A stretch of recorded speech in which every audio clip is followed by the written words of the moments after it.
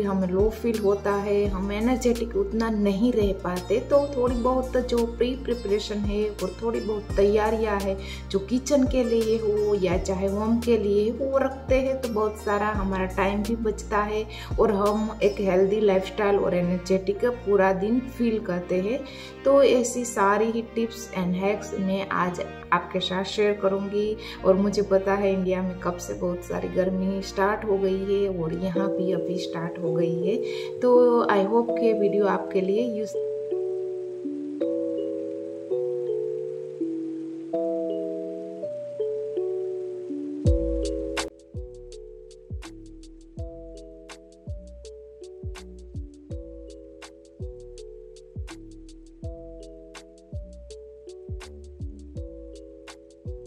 आज के वीडियो में हम 15 प्लस होम समर हैक जानेंगे। तो यहाँ पर आप देख सकते हो, कोई भी सीज़न में आप दही जमाने के लिए रखते हो तो इस तरह के मिट्टी के बर्तन में रखो तो क्या होगा कि जो एक्स्ट्रा पानी है, वो ये बर्तन जो मिट्टी का है, वो सोख कर लेगा और आपका दही एकदम अच्छा जमेगा। और यहाँ पर जामुन जो आप डालते हैं, वो एकदम बाकी सीज़न के कंपेयर में एकदम ही कम डालना है, जैसे कि कम खट्टा हो, वरना क्या होता है कि सवन में ज़्यादा दही खट्टा हो जाता है। मिट्टी का बर्तन ना हो तो आप इस तरह के कैसरोल में भी अच्छी तरह से दही जमा सकते हैं।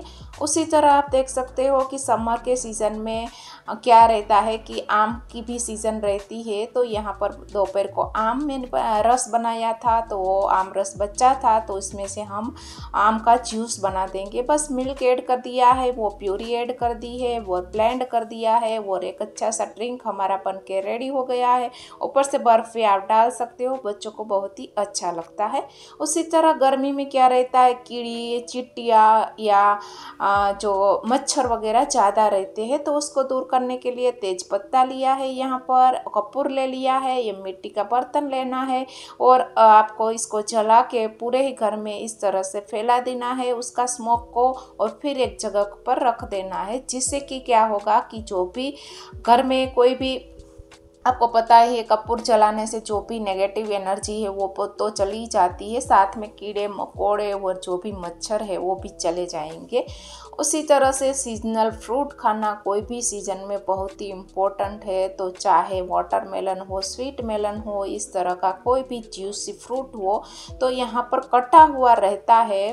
तो बच्चे भी खाते, हम भी आते जाते खाते रहते, वरना हमको आलस आ जाती है कोई भी फ्रूट्स वगैरह कट करने में और खाने में। तो यहाँ पर मैं क्या करती हूँ, एक रूटीन बना लेती हूँ कि जिससे कि ये कट करके रखूँ और एक बाउल में भर के रखूँ। तो क्या होगा कि काउंटर टुक पे रखा होगा तो बच्चे खा लेते हैं। उसी तरह कॉफ़ी पीने वाले जो कॉफ़ी लवर्स है, उसके लिए ये हैक्स बहुत ही काम का है।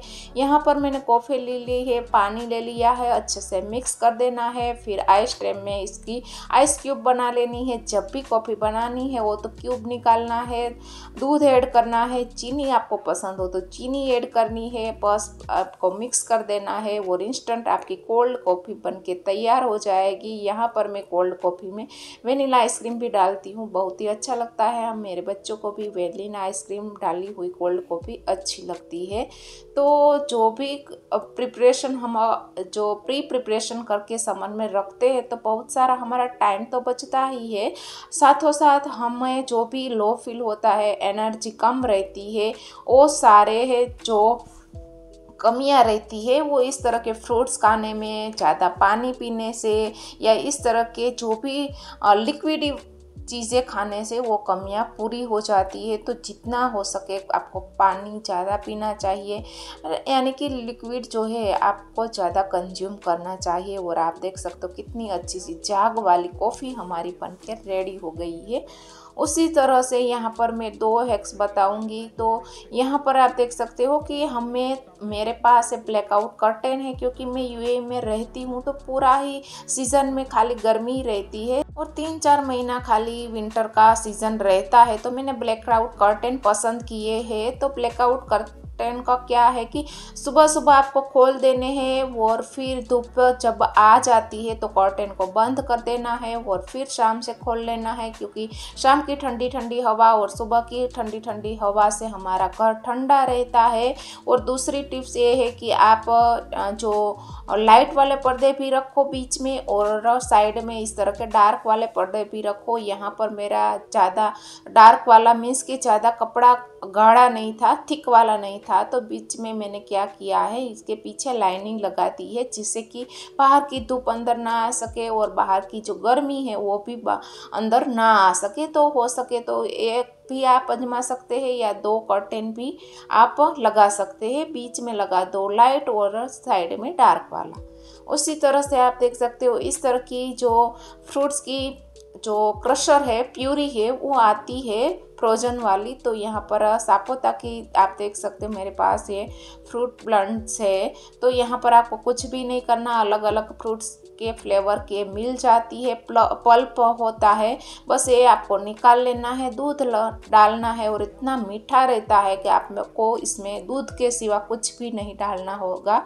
और फ्रीजर में रहता है तो आपको आइस क्यूब भी नहीं डालनी पड़ती और यहाँ पर मैं काम ज़रूर ही कर लेती हूँ और वो है नींबू पानी। नींबू पानी में क्या रहता है कि शुगर को पिघलाना बहुत ही बड़ा टास्क रहता है तो मैं चाशनी बना के रखती हूँ। यहाँ पर मैंने पैन ले लिया है, उसमें शुगर ऐड कर दी है, उसमें वो गर्म होता है, तब तक मैं क्या करूँ कि जो भी मेरे लेमन है, वो उसको कट करके उसका जूस निकाल लूँगी, उसको स्ट्रेन कर लूँगी और यहाँ पर देख सकते हो हमारा जो शुगर है, गल चुकी है, उसको ठंडा होने के लिए छोड़ देंगे और फिर जो ये, जो लेमन का जूस है, वो इसमें ऐड कर देंगे। वरना आप खाली शुगर की चाशनी बनाकर भी रख सकते हो। आपको जो लेमन का जूस नहीं डालना हो तो ना डालो।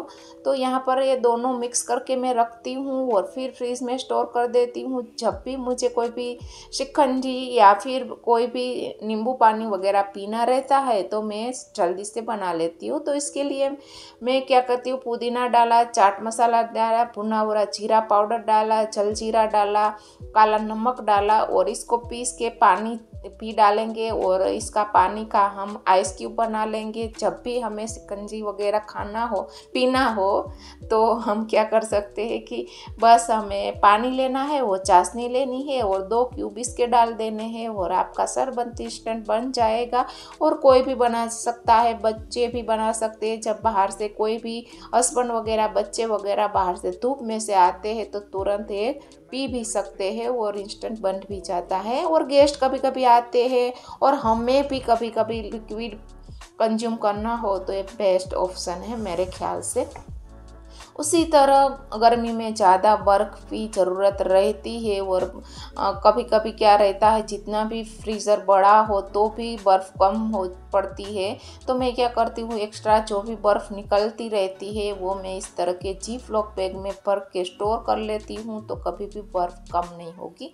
उसी तरह किचन के काम के अलावा आपको घर को बेडरूम को भी प्रिपेयर करना रहता है तो यहाँ अभी गर्मियाँ स्टार्ट हो गई है तो जो भी वुलन के कपड़े हो गए, इस तरह के बेलन ब्लैंकेट वगैरह हो गए, उसको मैं अच्छे से वॉश करके, फिर फोल्ड करके अच्छे से उसको ऑर्गेनाइज करना बहुत ही ज़रूरी है। इसका ऑर्गेनाइज़र भी मैंने बहुत सारे बनाए हैं, ऑलरेडी मेरे चैनल पर है।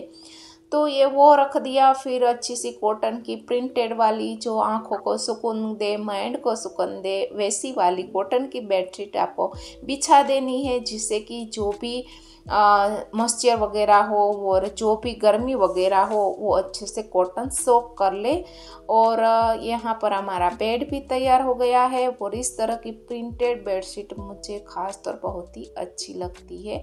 उसी तरह हम बनाएँगे शुगर कैन का जूस वो भी बिना शुगर कैन के। हाँ बिल्कुल सही सुना आपने।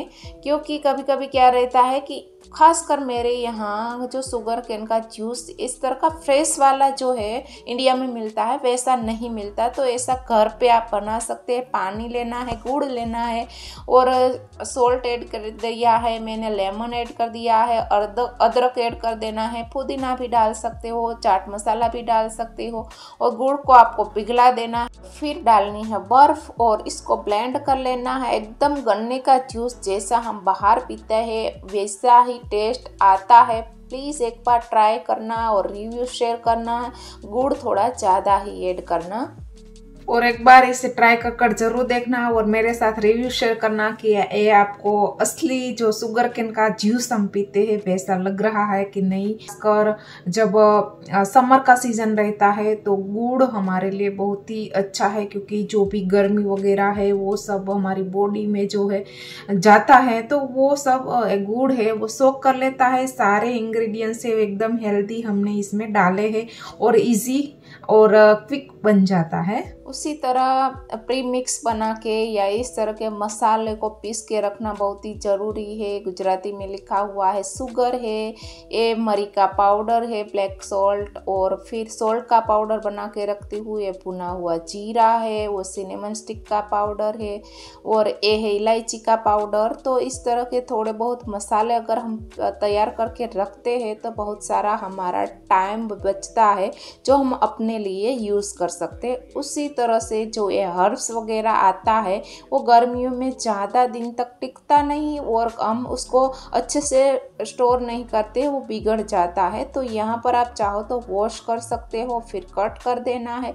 अच्छी तरह से स्टोर करना है। मैंने बहुत टाइम बताया है कि एयरटाइट कंटेनर लेना है किचन नेपकिन डालना है, अच्छे से कट किया हुआ जो भी हर्ब्स है वो ऐड कर देना है, ऊपर फिर से एक टिश्यू पेपर लेना है और इस तरह के हर्ब्स को आपको बिल्कुल दबाना नहीं है। इसी तरह आपको खुला खुला रखना है, जिससे कि क्या हो कि एयर सर्कुलेशन हो और मॉइस्चर ज़्यादा बीच बीच में ना लगे, वरना एक पत्ती ख़राब हो जाती है तो उसके कारण सारा ही हर्ब्स हमारा ख़राब हो जाता है।